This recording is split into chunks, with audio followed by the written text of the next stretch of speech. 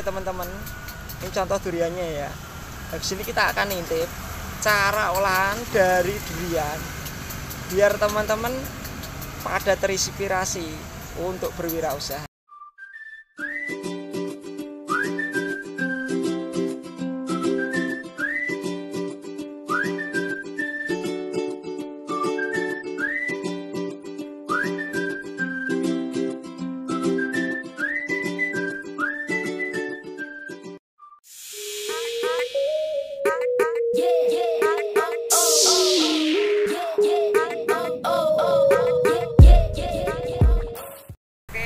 Assalamualaikum warahmatullahi wabarakatuh.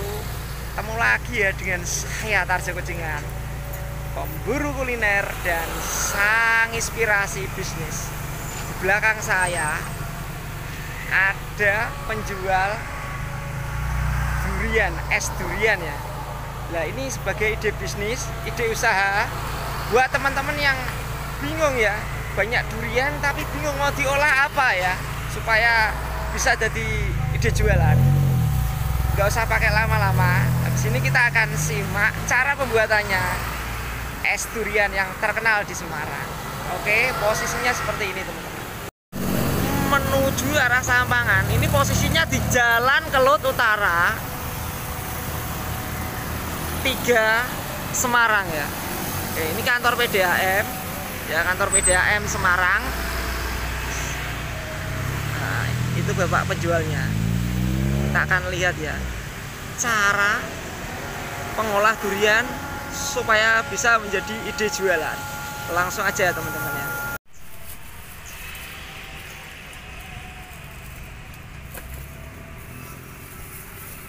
Antri dulu teman-teman. Satu, dua, tiga, empat, lima, lima teman-teman. Di bapaknya ini jualan es dawet teman-teman. Cuma kalau pakai biasa es dawet biasa harganya 5000 tapi kalau pakai durian harganya 15000 murah teman-teman murah ya. Asmane Pak Sinten nih Pak Muhadi. Pak Muhadi mulai buka jam pinten Pak Muhadi? Jam setengah sembilan. Sampai jam? Sampai jam setengah lima. Oke. Sore. Mantap ya Pak ya? Ya terkadang jam dua sudah habis dua. ya teman-teman ya. Karo laris saged usaha dawet durian ini pripun Pak ceritanya An, mas. Ini penerus mas. Oh. Ini kan kakak saya. Nggih. ya ini saya penerus sekarang. Udah berapa tahun Pak jualan Pak nih? 37 tahun. 30 tiga tiga 33 tahun. Mantep, ini legend ya Pak ya. Oke teman-teman, ini contoh duriannya ya. Di sini kita akan intip cara olahan dari durian biar teman-teman pada terinspirasi untuk berwirausaha. Langsung aja ya teman-teman. Ini teman-teman duriannya ya, yang udah di OCI ya Pak ya, dikupas ya. Oke. Oke. pakai durian tak pakai durian Satu porsi pakai durian berapa potong Pak itu Pak? Ya terkadang tiga terkadang dua ya, kecil besarnya Oh, kalau bijiannya besar ya dua pak besar dua, kecil ya tiga tiga ya Pak ya. ya. Padahal durian itu mahal ya Pak ya.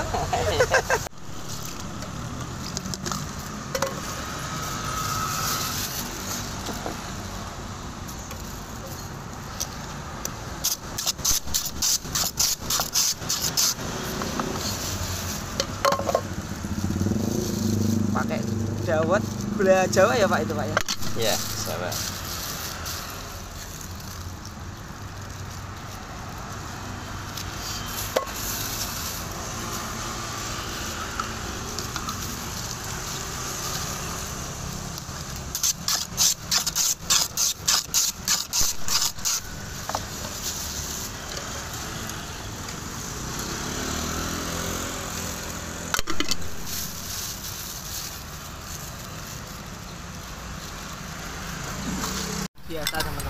yang biasa.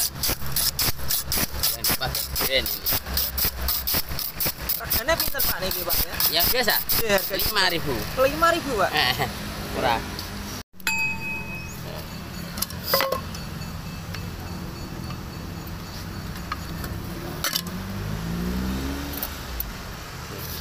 kita intip ya, ya. pakai dapat dulu ya pak ya, ya. ya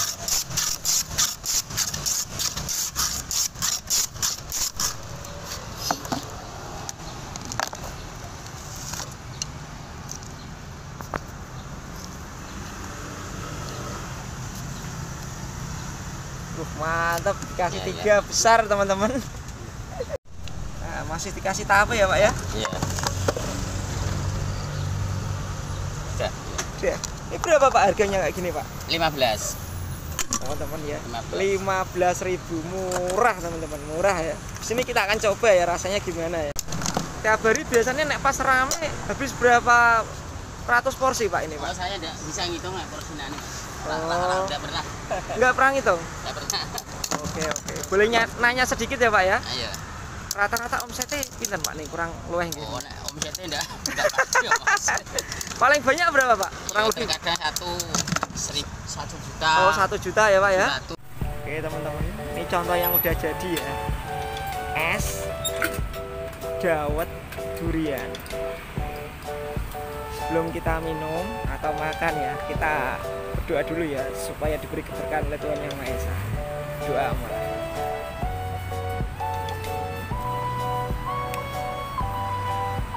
Yuk kita makan dawetnya dulu.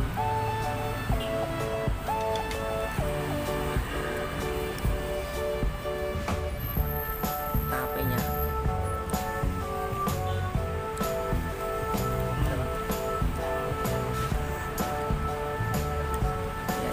Uh.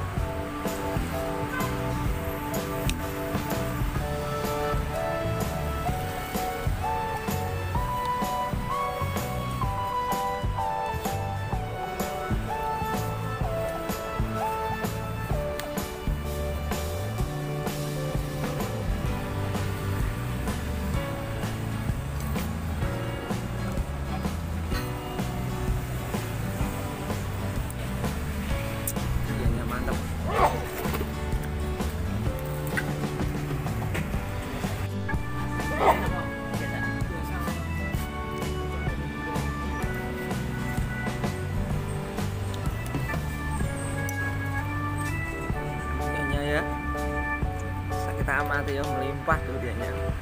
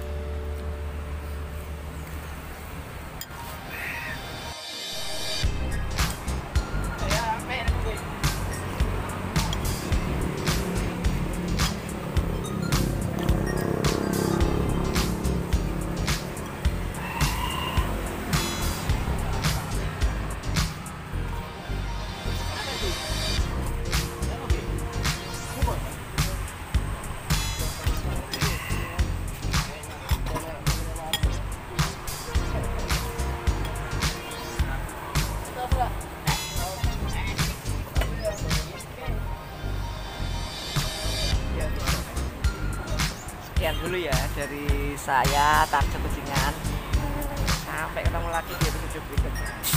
Dengan ide-ide bisnis yang jauh lebih menarik. Dadah